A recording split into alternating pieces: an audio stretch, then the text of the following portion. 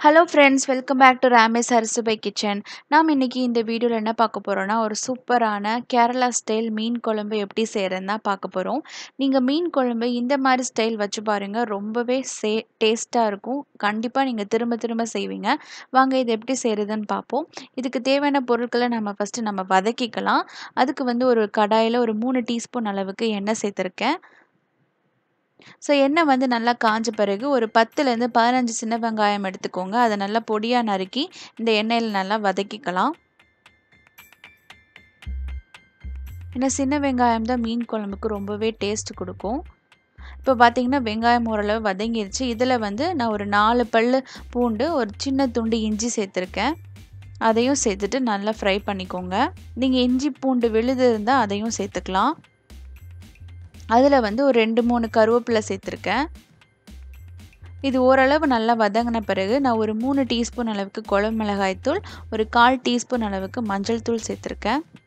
அதையும் சேர்த்துட்டு எண்ணெயில் வதக்கிக்கோங்க. நம்ம பொடி சேர்த்தப்புறம் அடுப்பை வந்து சிம்மரில் வச்சிடணும். இல்லைன்னா பொடி வந்து ரொம்ப கருகி போயிடும். கொஞ்சம் நல்லா வதங்கின பிறகு அதுக்கப்புறம் நாம் தக்காளியை சேர்த்துக்கலாம்.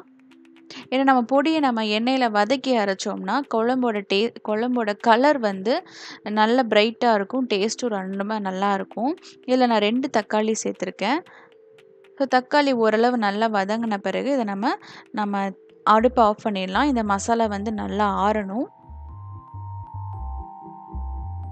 நான் இதில் தேங்காய் எதுவும் சேர்த்துக்கல. நீங்கள் தேங்காய் வேணும்னா சேர்த்துக்கலாம். தேங்காய் எல்லாமே ரொம்ப குழம்பு ரொம்பவே டேஸ்ட்டாக இருந்தது. இந்த மசாலா வந்து நல்லா ஆறின பிறகு நம்ம ந இந்த மாதிரி ஃபைன் பேஸ்ட்டை அரைச்சி எடுத்து வச்சுக்கோங்க. இப்போ நம்ம மீன் குழம்பு தாளிச்சிடலாம். அதுக்கு ஒரு கடாயில் ஒரு நாலு டீஸ்பூன் அளவுக்கு நல்லெண்ணெய் சேர்த்துக்கோங்க. நல்லெண்ணெய் நல்லா சூடான பிறகு நான் ஒரு கால் டீஸ்பூன் அளவுக்கு கடுகு இதே மாதிரி கால் டீஸ்பூன் அளவுக்கு வெந்தயம். இதெல்லாம் சேர்த்துட்டு நல்லா பொரிஞ்ச பிறகு ஒரு மூணு வத்தல் ரெண்டு பச்சை மிளகா சேர்த்துக்கலாம். ஒரு ஃப்ளேவருக்காக சேர்த்துக்கலாம். உங்கள் காரம் இன்னுமே அதிகமாக வேணும். நீங்கள் அதிகமாக சேர்த்துக்கலாம். அப்புறம் வந்து நிறைய கருவேப்பிலை சேர்த்து நல்லா தாளித்து விட்டுட்டு கடைசியாக இந்த அரைச்ச பேஸ்ட்டை போட்டுக்கோங்க. அந்த பேஸ்ட்டு வந்து எண்ணெயில் கொஞ்சம் ஓரளவு நல்லா வதங்கின பிறகு நம்ம புளி தண்ணி சேர்த்துக்கலாம்.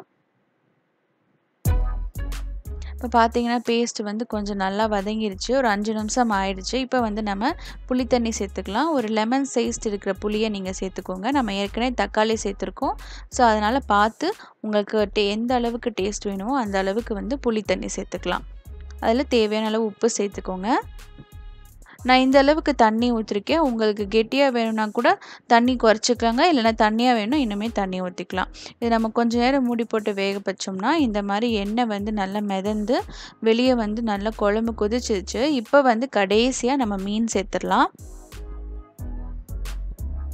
இப்போ நான் ஏற்கனவே வந்து உப்பு மஞ்சத்தூள் போட்டு மீன் வந்து நல்லா கழுவி வச்சுருக்கேன். ஸோ அந்த மீனை நான் சேர்த்துட்றேன்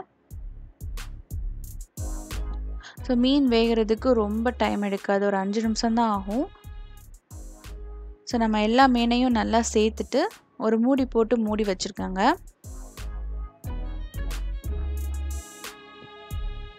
பார்த்திங்கன்னா நான் எல்லா மனே மீனையும் சேர்த்துட்டேன். இப்போ நம்ம வந்து மூடி போட்டு மூடி வச்சிடலாம். பார்க்கவே சூப்பராக இருக்குது இப்போ பார்த்தீங்கன்னா மூடி போட்டு ஒரு பத்து நிமிஷம் ஆயினப்புறம் நமக்கு சூப்பராக ஒரு கம கமன்னு மீன் குழம்பு ரெடி ஆகிடுச்சு கடைசியாக கருவேப்பிலை தூவி இறக்கிடுங்க. இந்த மீன் குழம்பு நீங்கள் கண்டிப்பாக ட்ரை பண்ணி பார்க்கலாம். ரொம்பவே டேஸ்ட் சூப்பராக இருந்தது. இந்த சின்ன ரெசிபி உங்களுக்கு ரொம்பவே பிடிச்சிருந்துச்சு. என்னோடய ம சேனலை மறக்காமல் சப்ஸ்கிரைப் பண்ணிக்கோங்க. லைக் பண்ண மறந்துடாதீங்க. கமெண்ட் பண்ணுங்கள் ஷேர் பண்ணுங்கள் தேங்க்யூ ஃபார் வாட்சிங் ஃப்ரெண்ட்ஸ் கண்டிப்பாக ட்ரை பண்ணுங்கள் இந்த குழம்பு. தேங்க்யூ ஃபார் வாட்சிங்